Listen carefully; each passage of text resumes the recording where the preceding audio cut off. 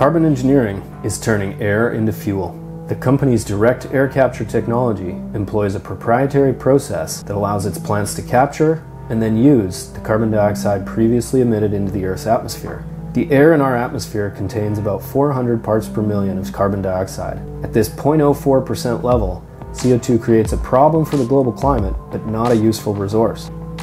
Carbon Engineering's plants transform this challenge into an opportunity.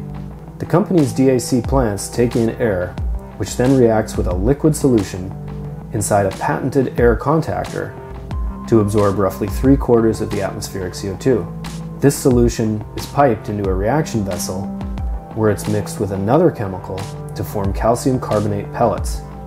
Once the carbon has been consolidated into these pellets, they are then heated to temperatures where they break down and release the carbon dioxide, which can then be captured as a gas but now at 100% concentration.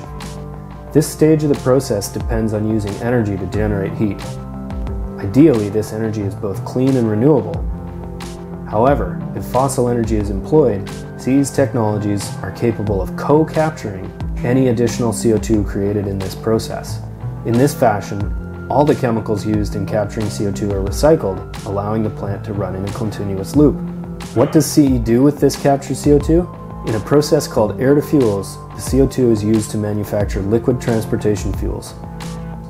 First, renewable electricity is used to split water into oxygen and hydrogen. The hydrogen and CO2 from the air are then recombined in a step called thermocatalysis to form hydrocarbon fuels like diesel or gasoline. When burned in a vehicle engine, the fuels simply return their CO2 to the atmosphere. These closed cycle fuels are poised to play a critical role in the battle against climate change. By displacing the world's fossil fuels, carbon engineering hopes to significantly reduce the emissions currently created by transportation. The direct air capture and air-to-fuels technologies detailed in this video are currently being demonstrated at CE's headquarters in Squamish, British Columbia.